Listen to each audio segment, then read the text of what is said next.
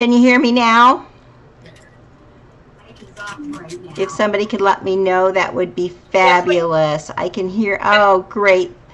Thanks, Lisa. Um, not sure how Facebook is going, or not Facebook, YouTube is going. Um, if somebody is on YouTube and can let me know with that, that would be fabulous. This is all new technology to me, so we're going to get started today. So we're going to talk a little bit um, about Brusho.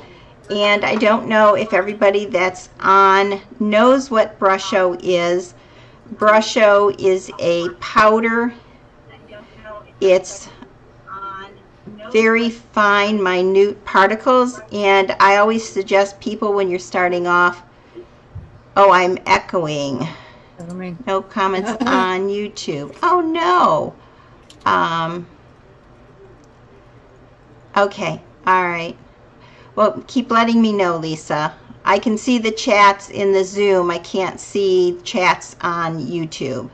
So you'll you'll need to Okay, YouTube is a little bit behind. Okay. Um, with Brusho, Brusho is very fine. And I always tell people, don't take the tops off until you know um, how to really use them. I always suggest people put a push pin or a pin in the top. Um, when I first got these, and these are probably five, six years old, I started using them in the center. As I moved on and just uh, recently I started moving the hole over to the side. I think it's a little easier to shake and to tap this way than holding it up and tapping it.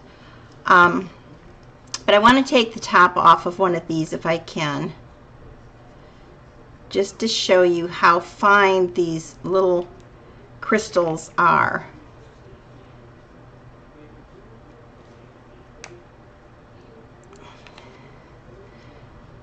So can, I don't know if you can see how fine and minute those crystals are.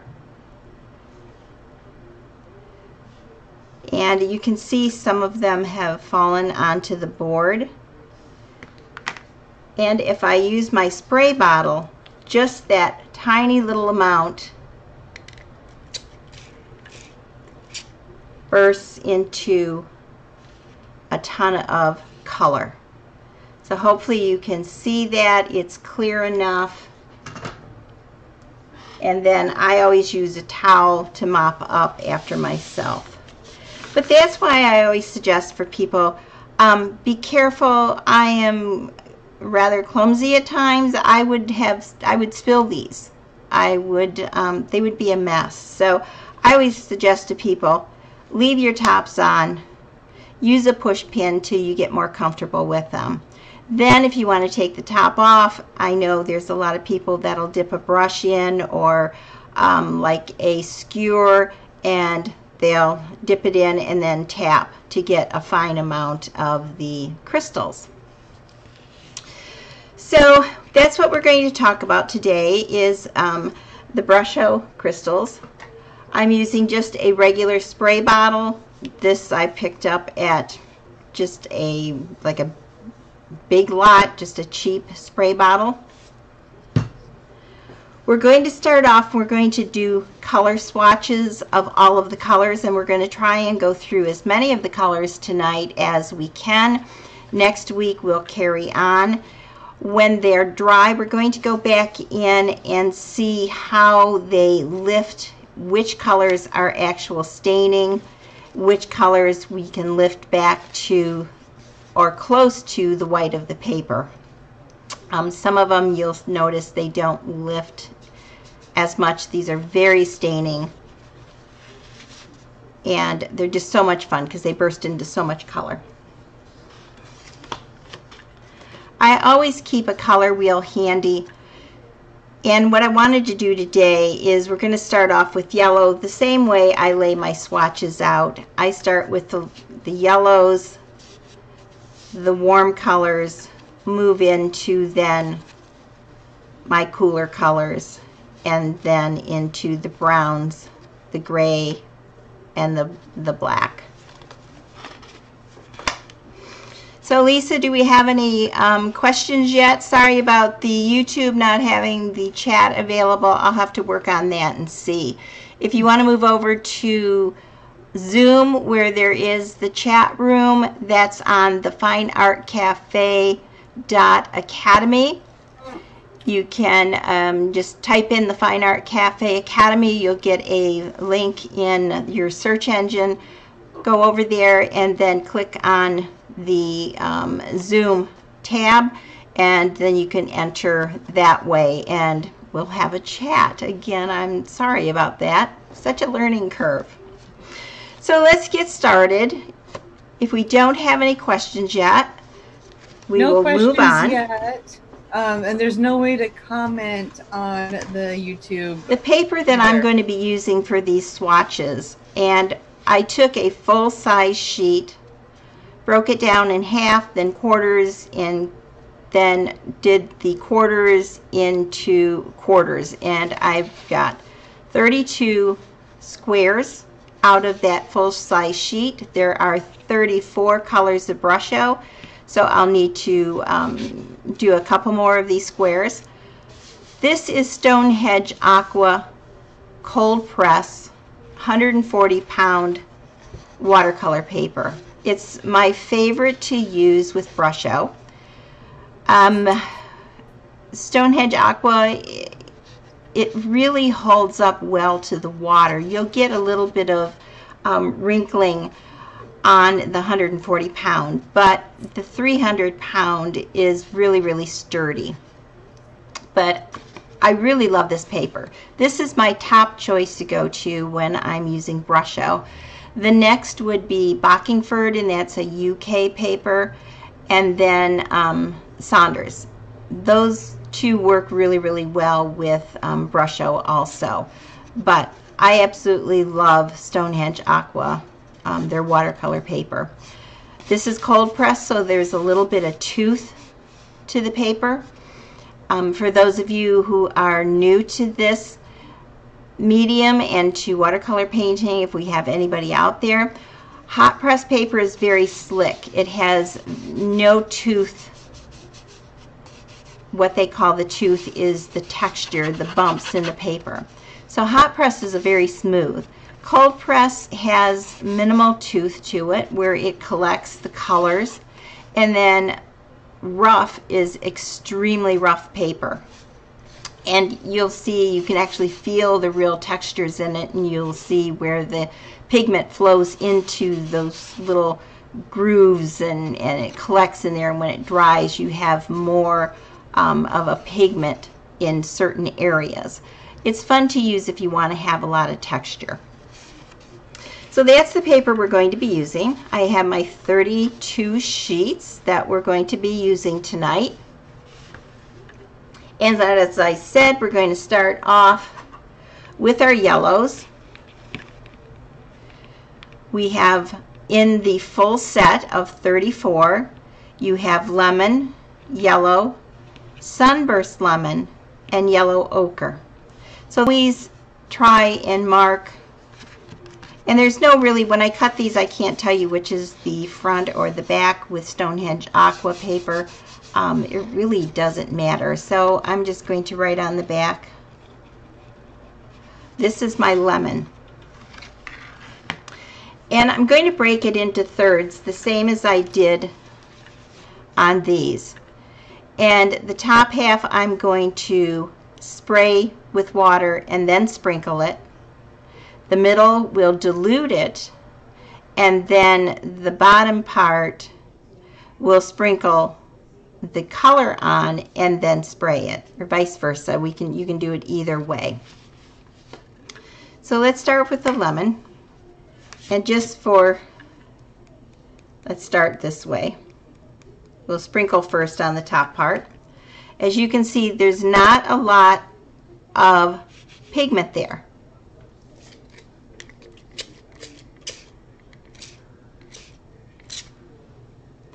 And just lightly spray it.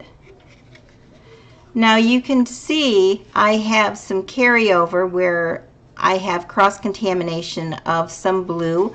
I don't think the blue was probably in that pot. It's probably either on the pin or it was on the top of the lid. But I like to get those places where the other colors come through. I think it adds a lot of dimension and a lot of different color into a painting when that happens. So let's wipe this off and set that aside. That was our lemon. Let's do yellow now. And what you're going to see also is that a lot of the colors are very close.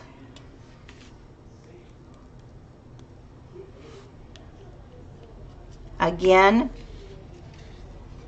that's not a lot of pigment that's been dropped down there. And we're going to spray.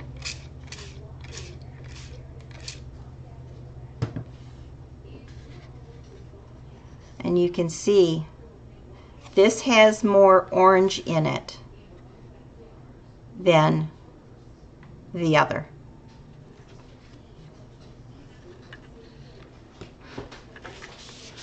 Now I want to let those dry before we move on to um, diluting and going in. Kind of let those kind of just dry.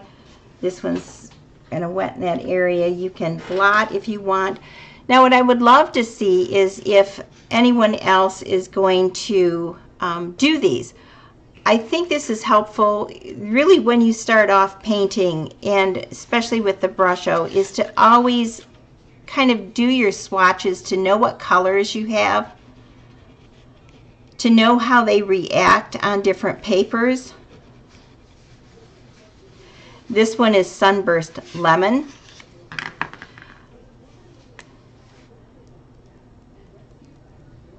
Again, just lightly sprinkle. With Brusho, a little, little goes a long, long way.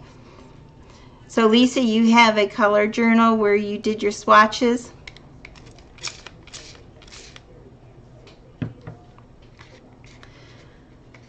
So as you can see,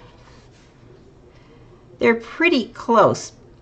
But when you do, um, when you're actually working on a painting, um, this one comes out darker than the sunburst. The sunburst is seems to be a lot brighter.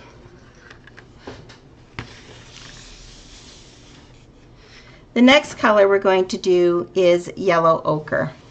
Let me write that on here.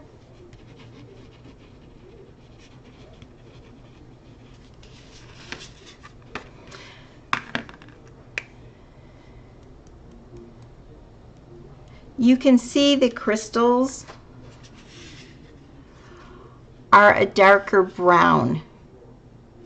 But watch as I spray this, what happens. This is where it gets into a lot of fun with Brusho. You can see the colors. There's orange, there's some greenish color in there, there's browns. Each pot is made up of a lot of different colors, which is to me so exciting because you get those colors where they show up in random places. It's very, very organic looking. It's so much fun to use. Let's put that one aside. Okay, let's move on into our reds and oranges. Hi Nancy, how are you? So this one is orange.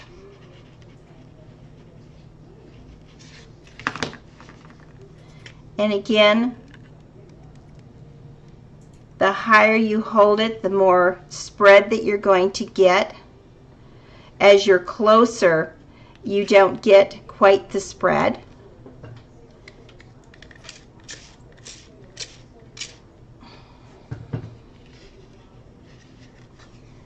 And you can see how the orange has some of the yellow in it. It's so pretty. They're so vibrant in color. Let's move my swatches out of the way. So we have those over here. This is a real fun color, this sandstone.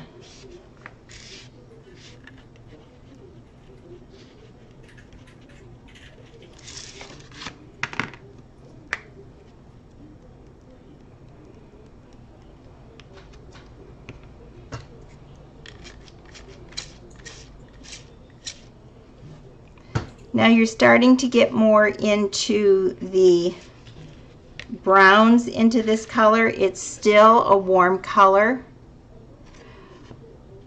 but the oranges now are turning in more where you have some of the browns. If you notice over here, and I don't know if I can hit that, you can see now where this one has a little bit of blue also in it. You can start to see those popping out. And again, that one was sandstone. So let's do one more. Well, I have two more over here. So let's do those before we start mixing. Now what I want to do is continue working on with these until we have all of the colors done. And then come back and we're going to start applying our knowledge of how the colors react, what colors are in one of the pots you have your color swatches of the colors that you have if you don't have all 34 of them.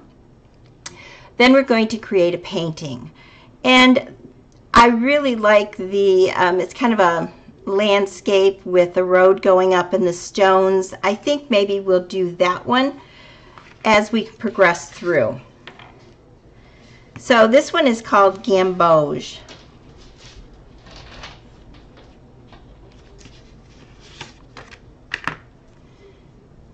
And I think you'll be surprised with the colors in this one.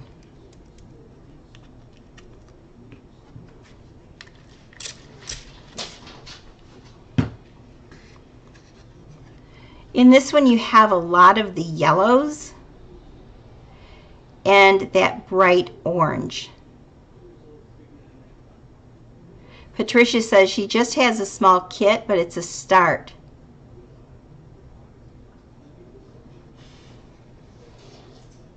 you like to watch me write the colors. Oh, is it backwards for you? oh, no. So we're going to set that one over there and let it dry. And then the last one for tonight that we're going to, um, you know, do just with the sprinkling and spraying and let them dry in this group is vermilion. And this one I use a lot.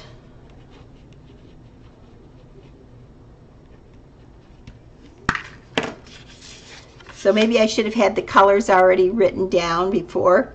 that way it wouldn't be backwards for you. But you'd be seeing them backwards.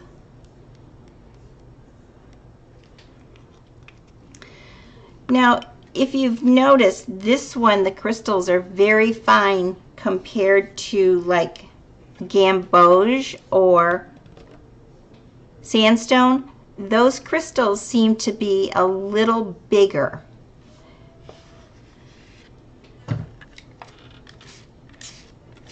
But you still get that organic, vibrant look in the colors. When I'm doing trees, I love to use this and you get that pop of that bright orangey red in there. I am using Stonehenge Aqua 140 pound cold press watercolor paper. It's my go-to paper for Brusho. I love this paper. Um, it's so resilient. It takes a lot of abuse and it'll flatten back out. You may get a little bit of wrinkling in it when it's it's really wet if you're using a lot of water on it. But this is my go-to, my most favorite paper for um, doing brusho and actually for even doing um, just traditional watercolors. All right, so those are the colors that we wanted to start off with. Now you're going to see kind of, I'm a really messy um, painter, and this was our lemon. And how I do, let me find my lemon, how I work, and this is, I call it a waffle board. It's plastic. I can clean it off if it gets stained. When I taught workshops for seniors in um, like nursing homes and um, assisted living. I always use this and I'd bring them home then because they would be just covered with colors. I would bring them home and just wash them all down and if they really get stained then I can take bleach and, and wash that off.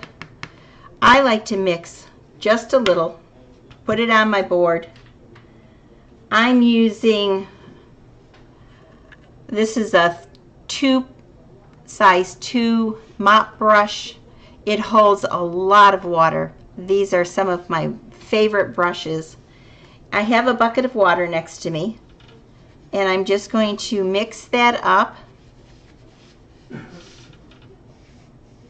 and I just want to do a line with it and then what I want to do is bleed that down so I can see how light I can actually get that. I don't want to bleed it all the way down because I still want to leave a spot where I'm going to spray water, then sprinkle the Brusho in so I can see the difference in how it reacts. With Brusho, it is so organic that doing it in different ways, spraying first, then adding the Brusho, or sprinkling the Brusho and then spraying, you get different looks. And that's why I think the swatches are so important to do. All right. And then this one is my yellow. And I have my yellow here. And it doesn't take much. And again, put my first coat on. and then I'm just going to bleed it down.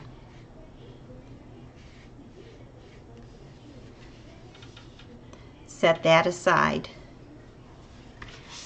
Clean up my mess. And this one is my Sunburst, which this is one of my really kind of favorite of the yellows, I think.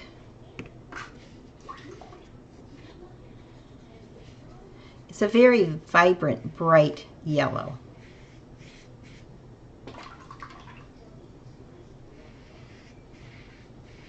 And you wash it down. Just kind of bleed it down. Let me clean this up.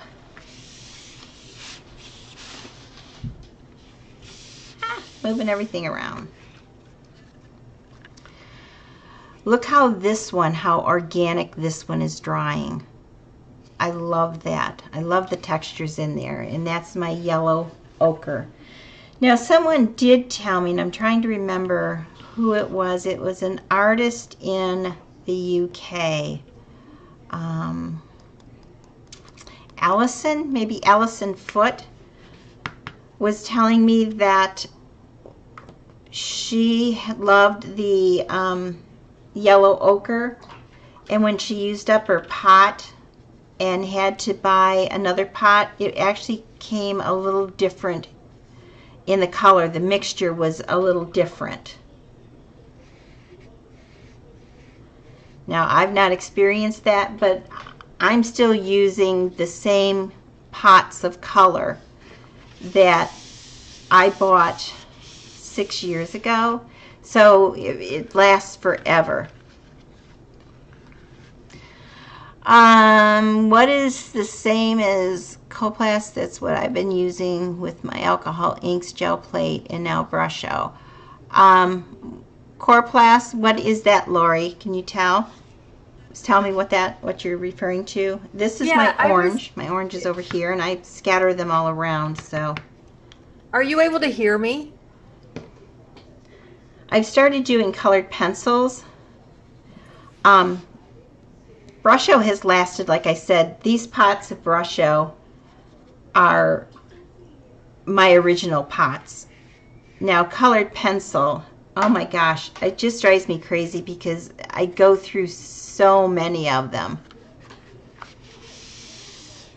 Oh, this, the, the I call it um, gator board or waffle board. It's a plastic board that has the the holes that run through it. I don't know.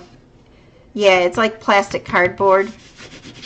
I use this because it cleans up so easily. Um, when I did, I was telling him earlier, when I did the workshops for the senior citizens, and I would bring the boards home and they would just be covered with color. And these would wash off and um, I can actually take bleach if they stained and clean them up.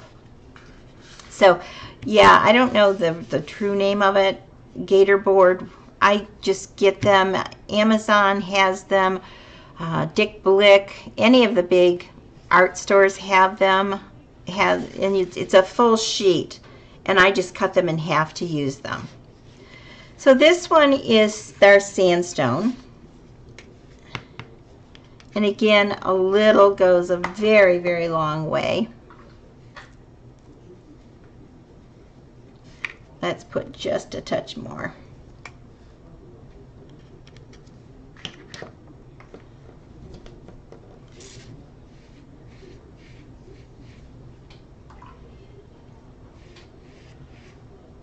So again, what we're going to do for the um, people that have come on a little later, we're going to work at our different colors, do swatches for all of the colors, and then we're going to do an actual painting online. So you kind of hang in with me. But look how organic this is as it dries. That's what I absolutely love about Brusho is, is how organic it is. Now I probably could have gone a little darker on that. In fact, let's go just a hair darker just to get a little more color.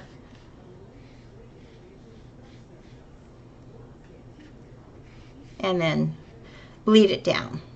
Because as I said, what we want to do is after these are dry, and they won't be dry enough to do this tonight, but we're going to use bleach and put a streak through it. And then I'm also going to be using a product that's called Milton. And it's a baby bottle sterilizer from the UK and yes, sandstone just it does. It has that that brown in it. It's just they're gorgeous colors.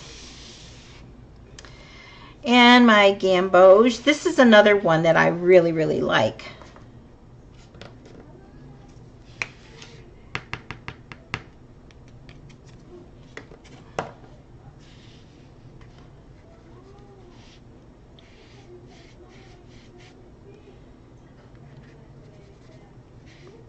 Just a little darker.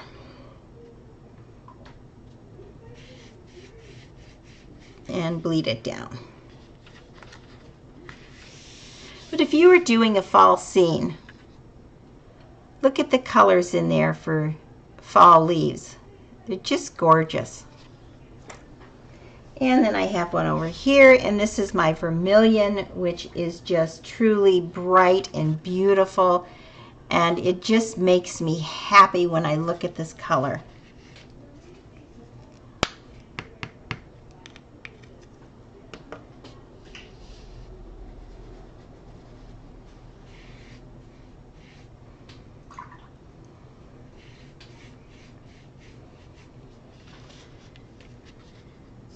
So there are the colors that we've done so far.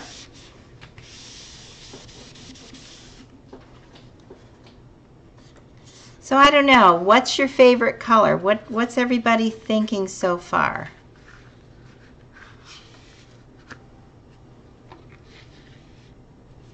I don't know if you can see them all.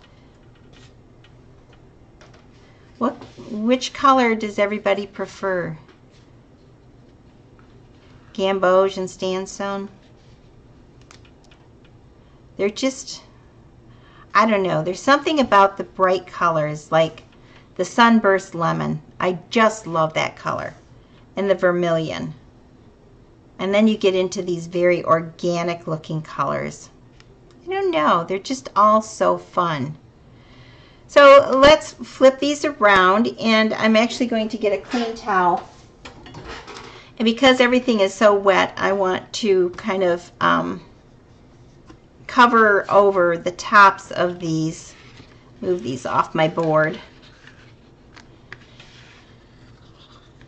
So that I can spray with water and then sprinkle. So again, let's make sure I'm not doing the wrong one. This is Gamboge. Get that out. I've been known to pick up the wrong color. And I hope you can see there's not a lot of water on there. There's not a lot of puddling.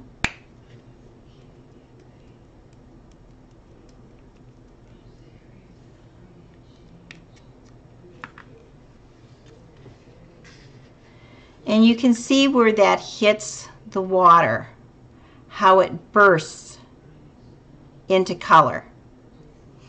And look at the difference from where this one, I put the color down first and then sprayed,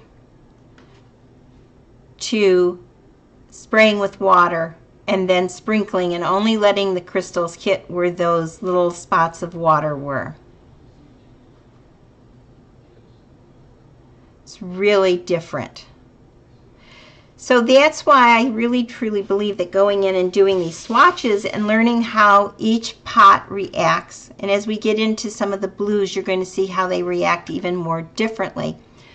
But you're going to want to know this information because you can apply this now in your paintings. You can go in and say, I want very airy leaves on a tree. So do I want to put the color down and then spray or do I want to put the spray and then color?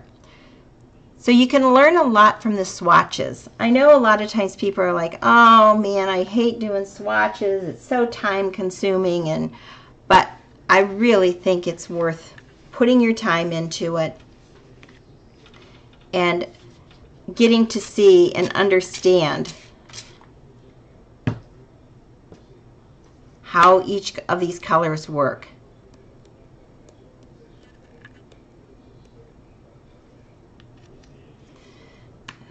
Those are done. Again, you can see the difference. One of the other things that I've learned over time is to walk away. When I'm doing especially trees and leaves, not to go in and keep messing with it, to walk away and let the colors do their thing. Let them kind of merge and come together in their own way and get that. Um, it's more realistic on how a painting looks than going in and, you know, like, oh, I'm going to go in and push these around. You can do that later and you can add more color but this way, it just really brightens everything up. So we have our lemon.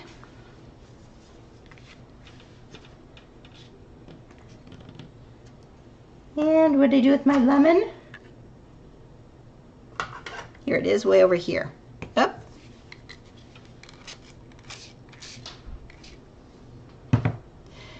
And I'm getting a little bit of cross-contamination because it's on my board, it's in the air, but that's okay. You're going to all get the under, kind of understand how this all works. And again, you can see the difference in how it looks and how it's reacting with the water. I'm running out of room for all of these color swatches.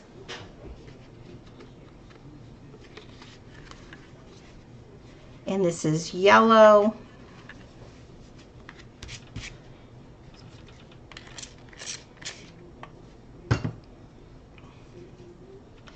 And I know Lori's been playing around with the gel plate and coming up with mixed media with Brusho.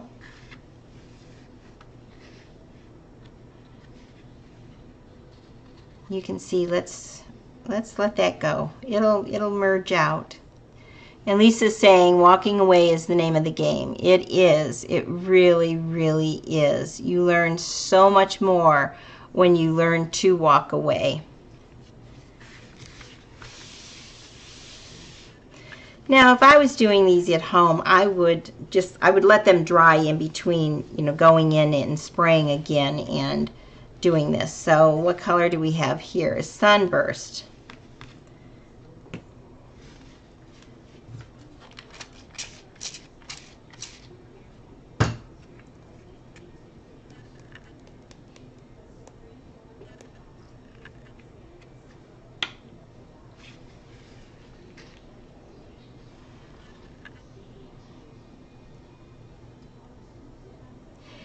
And the paper is really wet. Where I live, it's very humid. We live on the water, so it's extremely humid and it takes my papers a long time to dry.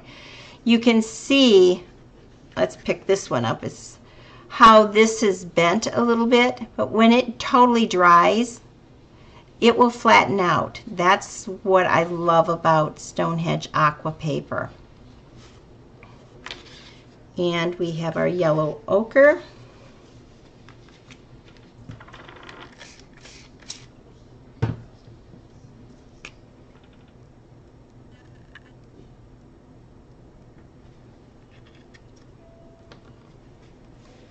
And look at those colors. How gorgeous to make a fall scene with the browns and the oranges and the yellows in there.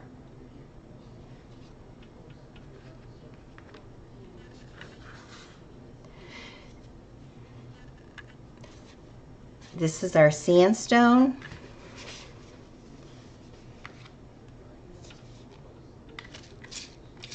Oh, you can see this one has vermilion, vermilion in it. Look at that. The red's coming out from cross-contamination.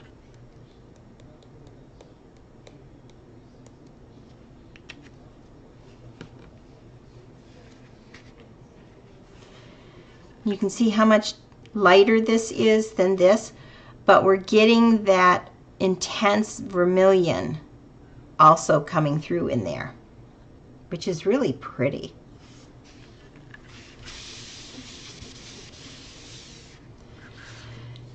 And this is our orange. There's my orange. Here we go.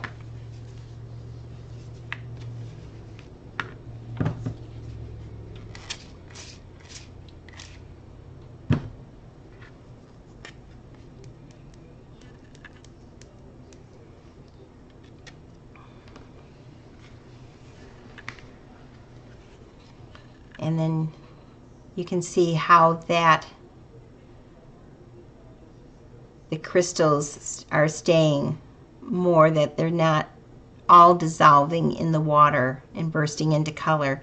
You have it more, so it's um, more spotted looking, then that's really not the right word to say. But look at that. Look at those colors.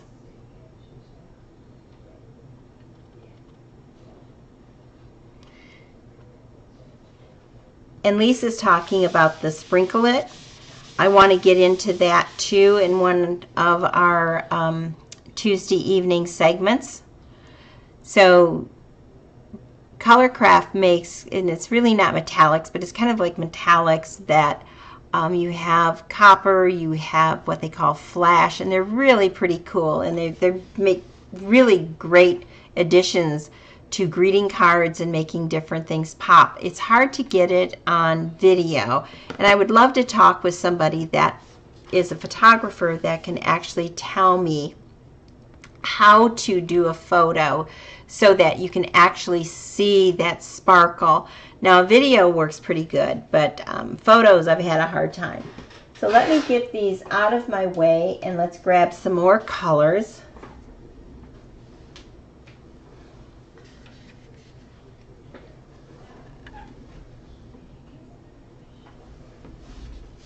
And how are we doing on time, everyone?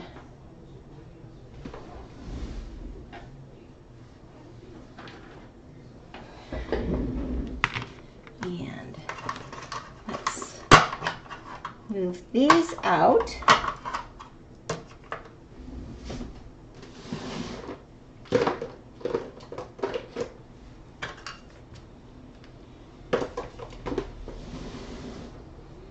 Week, I think what we'll do is um, we'll go into the greens and the blues and purples next week. So how are we doing time-wise? Are we okay on time? So let's go ahead and do these. And if I don't write the names down, then I'm not going to be, but I'll, I tell you what, I'll have the names all written down next time. This is rose red. And I'm going to sprinkle first. Spray. And you noticed on this one, if, don't know if you saw how I did it, I kind of did a sweeping motion with the spray and it really pulled the colors out that way. So again, spraying differently also makes, you know, changes in, in the outcome of how the Brusho works.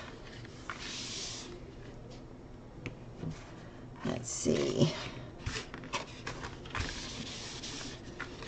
I have terracotta.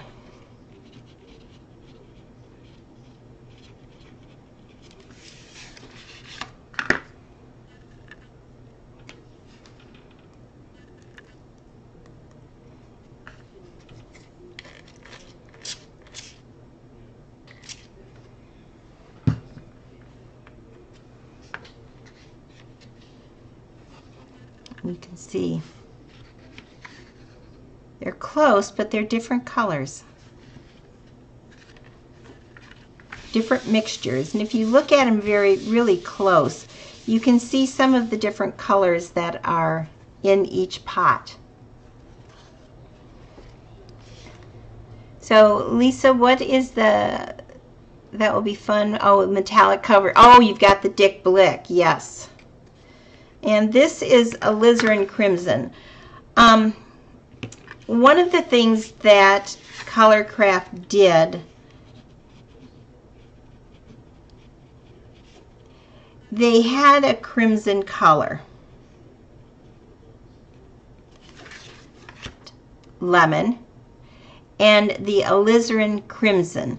And I'll do those side by side so you can see the difference. And I really love the alizarin. I think more than I, I like the, just the crimson color.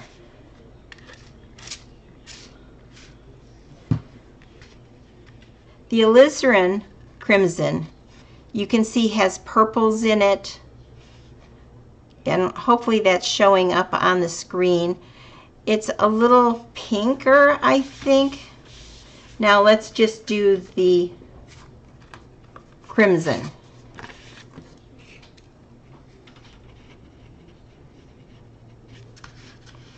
And then we'll compare to see what they look like together. And I'm trying to sprinkle about the same amount.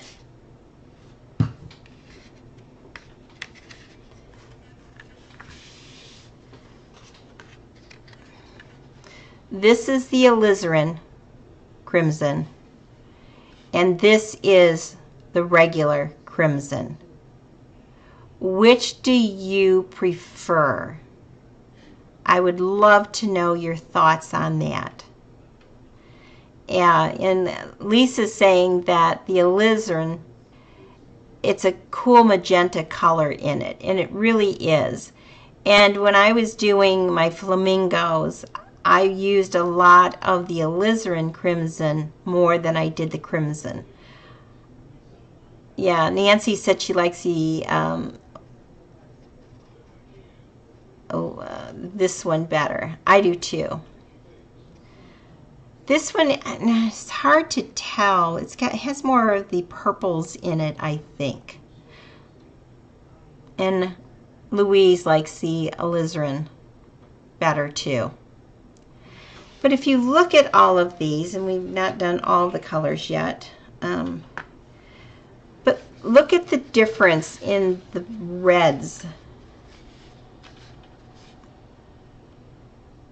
They're so cool in how different they all are. And in some ways, and this is the terracotta. You know, no, it's not. It has more of an orange. This is getting to be more of a cooler red. This is a warmer red. So that's something too when you start painting, you want to, you know, know what do you want to show? Are you looking for warmer colors, cooler colors? You know, there's a lot that goes into planning out a painting.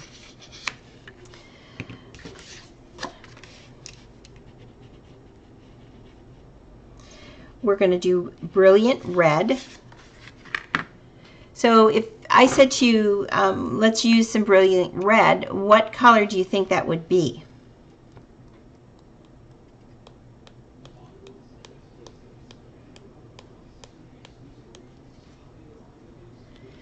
Now this is something else that I wanted to show and I'm glad. It's something to keep in mind also when you're using Brusho where that clump was, you're going to have more color and it's going to spread more.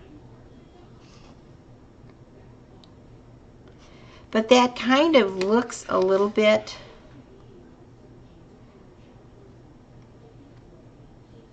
but as it spreads out, you're getting more of the pink in it.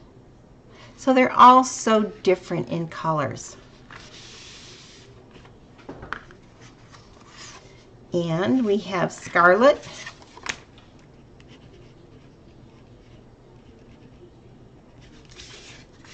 Which is another one of my favorite colors. And again, this one comes out a little larger clumps. You can see how the clumps are bigger.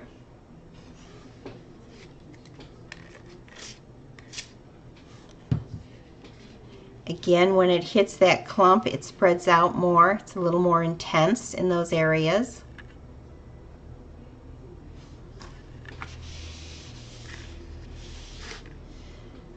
And then we have burnt sienna.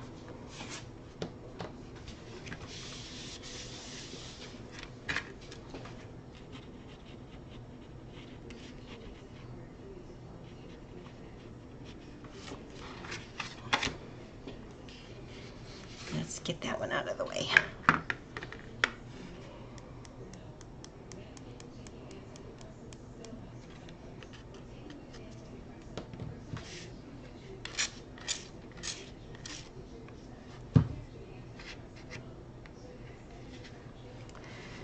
The burnt sienna has more of the violet in it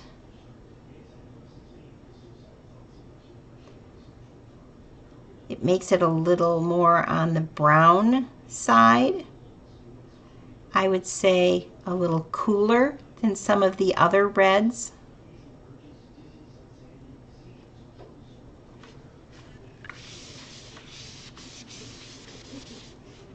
So let's go back in and now dilute them down. And we'll go with the scarlet.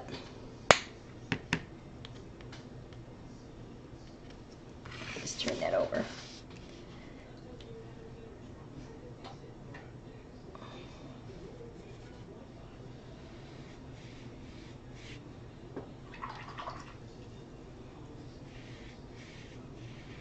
and bleed that out some.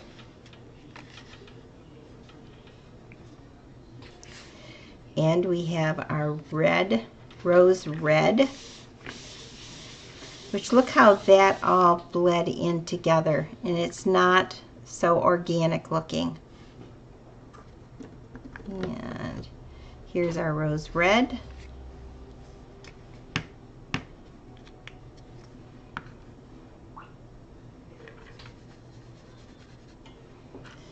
used a little more water in that. Let's add just a little more.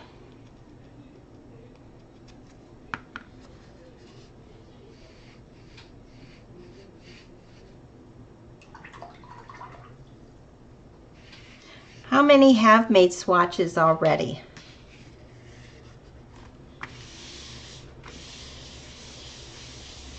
Lori, did you? And you have all of the colors, right? Terracotta.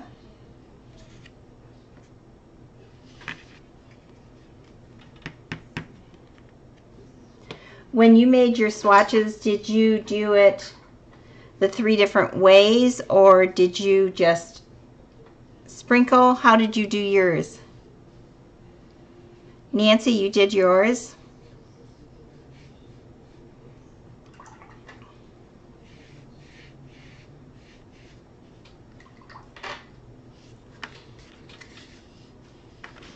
I sure make a mess.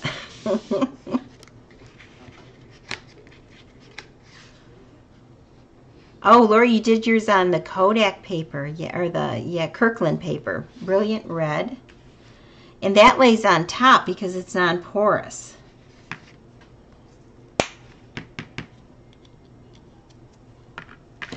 One thing I want to give a shout out is to Lisa. She has a new class that's going to be starting on the Fine Art Cafe Academy. And if you like florals, you um, you have to see check out her class. It's you can see the the flowers that she's going to be uh, teaching in her class. It's just amazing. Yeah, Teresa is she's fabulous. Look how this is running down.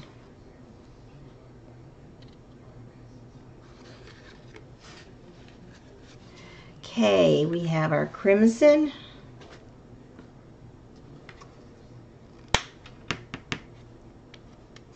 So Lori, you you did. Uh, what'd you say? You you some of the colors didn't turn out well. Um, you did it just two ways. Did you shake and then um, add the water? Am I doing the right one? Crimson, yes. Even as I'm spreading that with water, you can see the purple that's coming through. Very different than the alizarin. Look how they're drying. This one is a lot pinker. A lot more pink in it.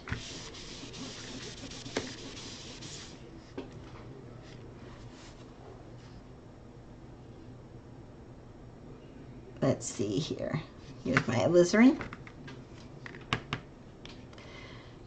Now, as you can see, look how fine that comes out compared to how some of the other ones came out in more of a uh, clumps. And look at that color. It's that beautiful color.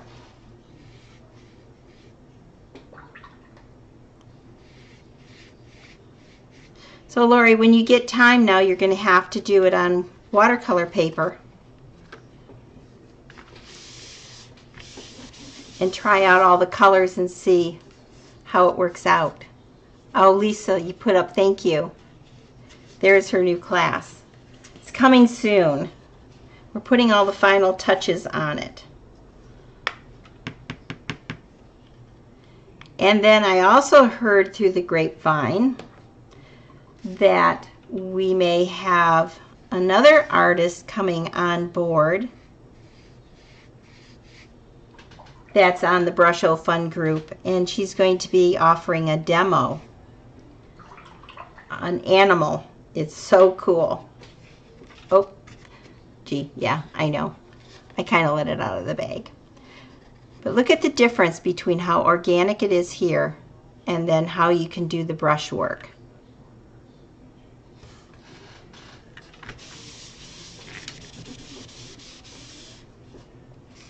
All right, let's do the last step with these. And we'll spray them with water. Let's see. I need another towel. I buy these. These I get at like, I don't know if anybody has a Menards or a Home Depot. Um, this one is Scarlet. I buy like, get a dozen of these towels and I use them all the time. They're, they work out great. Some of these are washcloths too that I don't use anymore. Scarlet. Okay, so this side we're spraying. Let me get some of these out of the way. You can still see cross-contamination from when I sprinkled them. So that's something else to really think about is these spread. So um, you've got to be careful if you don't want these colors on an area of a painting because they do spread out. Look at all of that that's on here. Now let's spray, sprinkle this.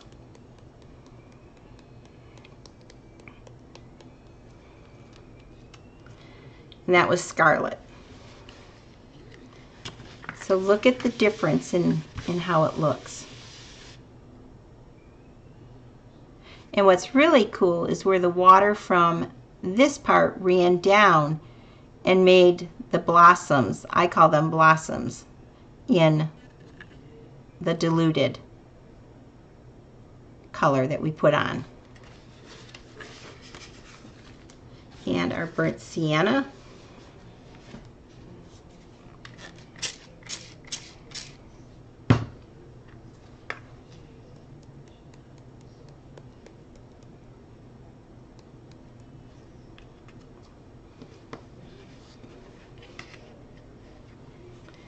And again, you can see the difference in how it's working on the paper.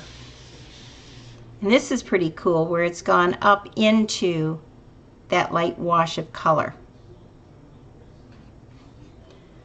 So I have color kind of like everywhere now. Rose red. One of the things that I've found that takes brusho out of clothing if you happen to um, do laundry and you get the red on your clothes is a product called Awesome. I get it at the, we have dollar stores. I get it at the dollar store. And I spray that on and then do my laundry and that gets it out of my clothing. It will wash out eventually, but if you need it out like right away. Yeah, it is, Lisa. It's exciting when um, we get new classes and new demos up. And when we get new artists. And this is terracotta. I'm getting my colors all mixed up. Where'd my terracotta go? Here it is.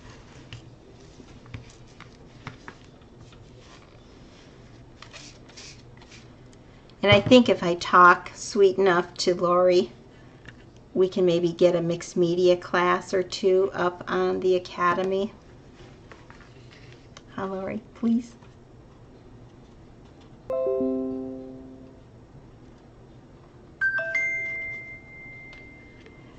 Just sent you, oh, um, don't know if I can, is there a way I can share that? I don't know if I can share my screen. I don't know. Let me check. Let me finish these up and then I'll check to see if I can share my, my screen. Um, this is the Brilliant Red.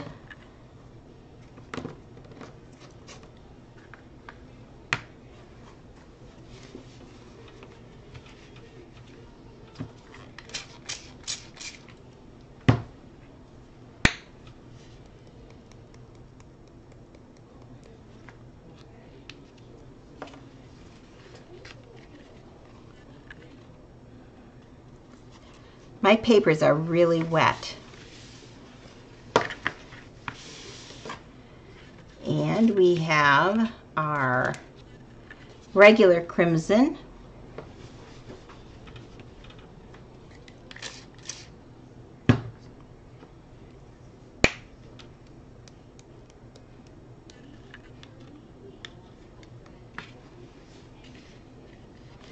Again, look how organic that looks. And then our last one for this evening, which is our alizarin. It's pretty wet, but we'll make it work. cross-contamination of one of the colors that have a blue in it because I've not had blue out. But look at that.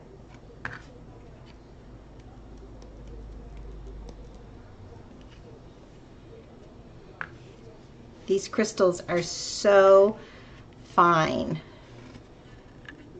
But look how pretty and how that pops. And now it's bleeding down into the red. And they are, they're surprise color bursts. It's just such a cool medium. Okay, that is the end of the color swatches for tonight. I have totally run out of room to let them dry. Um, do we have anybody? Let me check quick and see if we have anybody on YouTube or if everybody moved over to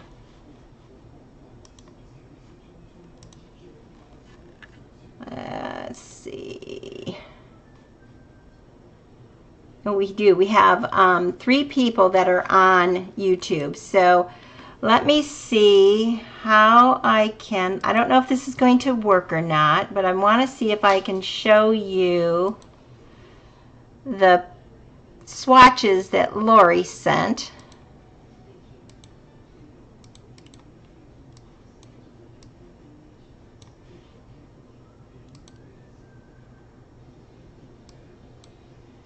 I don't think I can. Lori, I can't show them. Um, we'll post them somewhere. So, oh, Lori, you're on. Okay. Okay, yeah, please do share them on the group. So, do we have any questions? Um, anything anybody would like to know? We've been on for an hour. Again, next Tuesday I'll be back on and we'll do the rest of the colors. Um, maybe we'll do some of the bleaching and then to show how they they work with bleach. If anybody has any questions I know over on YouTube you can't ask questions. So if you're a member of the Brusho Fun group tag me over there and ask away.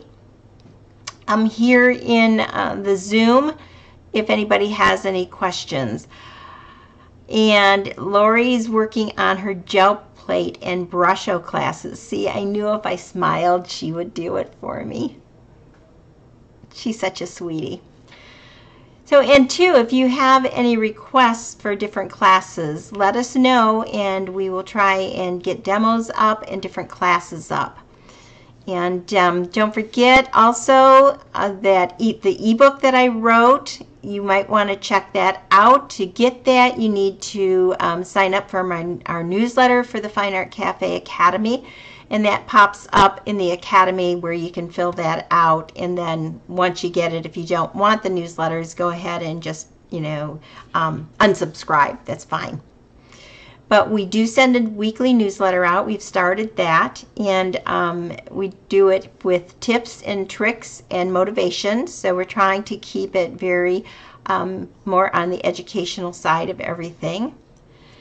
And uh, let's see. I'm trying to think of anything else. We talked about Lisa's upcoming class. We talked about Lori going to be doing a class. I hope, I hope.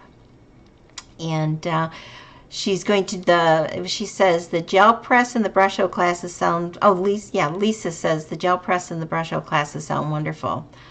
Yeah i have got to get me a gel plate. I was going to make one. I bought all of this gelatin and stuff and i was going to make one. I still should try and make one and see if those work. Lori did those work as well as a purchased gel plate? If you could let us all know that would be wonderful so, does anybody have any questions before we recommend buying a 5 by 7 to start? Okay, so don't make one. you want me to buy one? Okay, I'll buy one.